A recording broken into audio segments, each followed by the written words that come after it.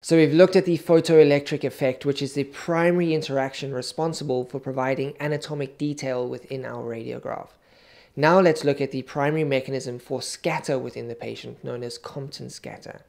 Now scatter is not what we want. It provides patient dose and it reduces our image quality by decreasing our image contrast and increasing the noise within the image.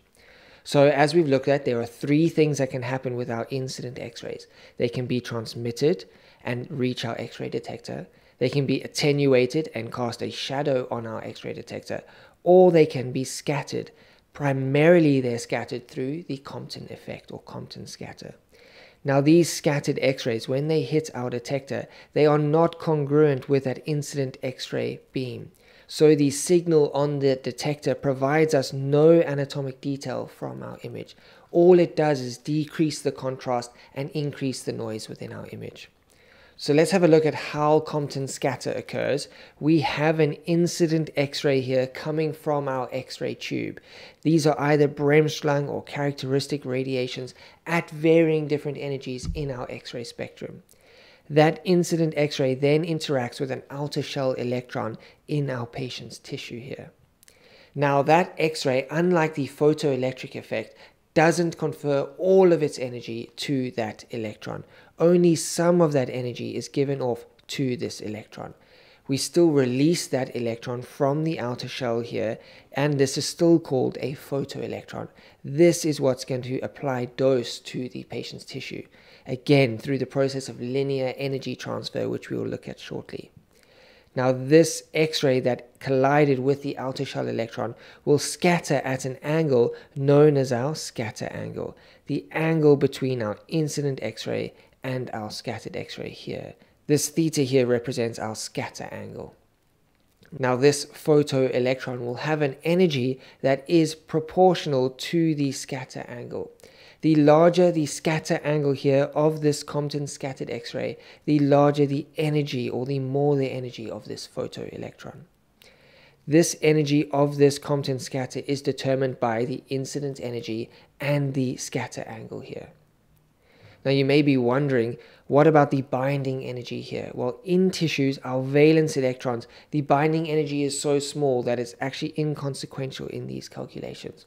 What we need to know is the larger the scatter angle, the more energy that's been conferred to this photoelectron, and the less energy this Compton scatter has. So as we increase the scatter angle, we decrease the energy of this Compton scatter. You can think about it as a billiard ball. If we have a glancing blow, very little of that energy has been transferred to the photoelectron. If we have a large collision with a high scatter angle, we lose a lot of energy in that collision, and most of that energy is released in the form of this photoelectron's kinetic energy. Now again, we can draw this on a graph, and you'll see that Compton scatter is quite different to the photoelectric effect in the photoelectric effect, we saw the likelihood of the photoelectric effect decreasing exponentially with increasing photon energy. We know that in a more dense tissue, this photoelectric effect will increase, and in a higher atomic number tissue, the photoelectric effect will increase even further. Now, Compton scatter in diagnostic energy ranges has very little dependence on incident X-ray energy, unlike photoelectric effect. There's a very small decrease in the amount of Compton scatter that happens as we increase our incident photon energy. Compton scatter's likelihood is largely dependent on the density of the tissue or the electron density within that tissue it has very little to do with atomic number because as our atomic number increases, so does our number of electrons, and that electron density remains roughly equal. So Compton scatter is largely dependent on density, has very little dependence on photon energy. Now you can see at a roughly 30 keV photon energy, the amount of photoelectric effect and the amount of Compton scatter occurring is roughly equal, or at least the probability of these events is roughly equal. As we increase our photon energy, the contribution or the interactions provided by Compton scatter are much more in number compared to our photoelectric effect. So as we increase our KVP, as we increase our photon energy, the signal provided to our X-ray detector has much more contribution from Compton scatter, relatively speaking, as opposed to the photoelectric effect. We get more noise within our image and less contrast as we get higher and higher exposures here with higher photon energies.